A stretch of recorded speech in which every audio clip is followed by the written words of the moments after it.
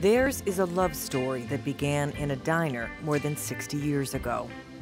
Well, my wife was working in a diner when I met her, but she worked there and I could get free coffee, so. Ron and Lucy McCasland's love for each other has grown stronger over the years, as has their love of collecting memorabilia. We have stuff. That's our motto. We have stuff. But their love story isn't without challenges brought on by Ron's diagnosis of Parkinson's. That was the main things, was his shaking and his walking. It was a diagnosis that at first baffled some of his doctors. And the guy said, walk down the hallway for me. So I walked down the hallway, came back, he said, you don't have Parkinson's. So then I went back to Dr. Weedman, he said, yes, you do have it. So I got Parkinson's. I didn't think too much of it because I didn't think it was much of a disease. You know, Parkinson's, everybody's got that, you know, but it's not the case. Though he has a tremor and trouble speaking and walking, Ron says severe fatigue is the worst symptom. Once I get uh, tired, then I'm done for the day. Ron has always loved reupholstering furniture in the shop behind the couple's home, but now he says his shaky hands make the job more difficult.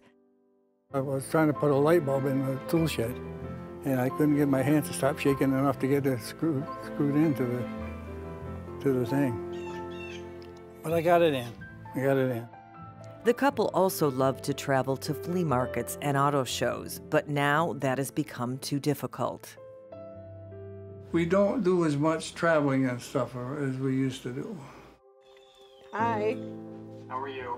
Good. Thanks to telemedicine, they no longer have to travel five hours to Rochester to see Ron's Parkinson's specialist at the University of Rochester. It sounds like all of those other medications you're taking in the evening. Yeah. A single Okay. click allows them to Uh, connect with their specialist for a video visit. About this symptom. You know, for us, it saves us, you know, the trip so that we don't have to leave the house. Telemedicine has been very helpful to us because we can get help and questions answered and so forth without having to drive all the way to Rochester. Able to fall back asleep pretty easily after you wake up, though. During oh, yeah. a recent telemedicine visit, they asked the doctor about Ron's severe fatigue and if it could be caused by medicines used to treat his Parkinson's. And are you consistently taking a nap later in the afternoon like that? Pretty much. The doctor also assessed Ron's mobility and tremor. Okay, right arm straight out in front of you like that, palm down. Flip it so it's palm up.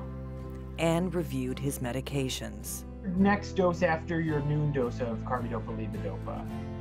Lucy says these visits via telemedicine have made a difference, as have medicines to treat Ron's Parkinson's symptoms.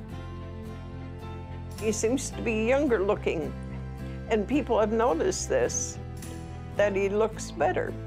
Ron tries to stay active with daily walks around Saranac Lake where they live.